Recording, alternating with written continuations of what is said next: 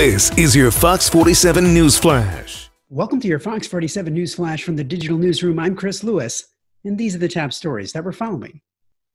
Parents and students tell Fox 47 that their biggest fear is the quality of education after Governor Gretchen Whitmer announced her plans Tuesday to reopen classrooms this fall.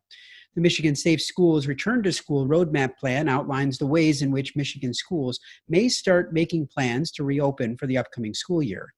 It also requires them to make plans for if it is not safe for schools to reopen and if learning needs to continue online.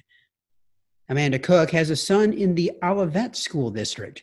She says if schools do have to continue online, she feels her son will have a hard time learning.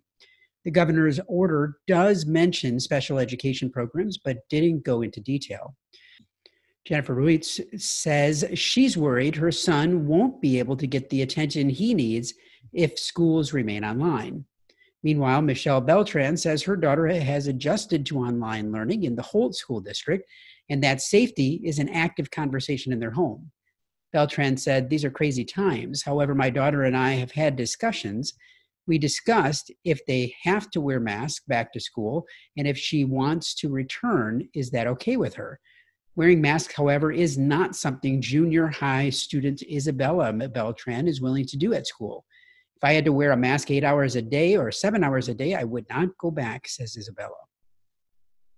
Two Michigan regions are doing worse than a week ago in terms of COVID 19 spread. According to the MI Safe Start Map at www.mistartmap.info, on Tuesday, the counties of Eaton, Ingham, Clinton, Gratiot, and Shiawassee are seeing an increased coronavirus risk. That data was dated for Monday. The risk phase for Lansing has been increased due to high risk. This is due to the recent one week increase above 40 new daily cases per million, the website said. The Grand Rapids area is similarly seeing an increased risk, which the state called medium high. Due to recent increases in cases, all other regions are be currently being closely monitored, the website said. A man flashed a badge when he pulled over a group of teens, but he might not have be, been a police officer. The mother of one of those teens wants to make sure that he faces the consequences. The video recorded on I 69 near Charlotte on Saturday night shows a man berating three teenagers in a car. One of the teen's mothers tells Fox 47 that the man who was driving a white Ford F 150 flashed a badge, then sideswiped their car, taking off their mirror. The viral video was taken from the back seat. Michigan State Police say that they're looking into it, although they wouldn't confirm the identity of the man. His name has been circulating on social media. We called a man with the same name who wouldn't confirm or deny he was in the video, only telling us to speak to his lawyer. However, the attorney says that he hasn't signed a contract yet.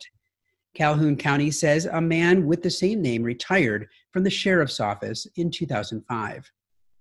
The coronavirus has changed all of our lives, and many people don't know where to turn for help. That's why Fox 47 News created Rebound Mid Michigan. Everything you need to get back on track in one convenient place. From dealing with stress to unemployment to helping put food on your table, plus ways you can help in your own community. Rebound Mid Michigan, everything that you need to get you through these difficult times. We may have fallen, but we will rebound together. Visit fox47news.com forward slash rebound to learn more. For all of our local high school seniors, we know that their senior year has been different than usual, but that doesn't mean that we shouldn't recognize their accomplishments. That's why Fox 47 News, WSYM TV, has created the Senior Spotlight. It's a way for anyone to share a video shout out or upload a photo to, of a deserving graduate that deserves recognition. So go to fox47news.com forward slash grad to upload your video or photo today and let Mid Michigan graduates know how important they are and how bright their future truly is. Learn more about all of these and all Mid Michigan's breaking news on fox47news.com.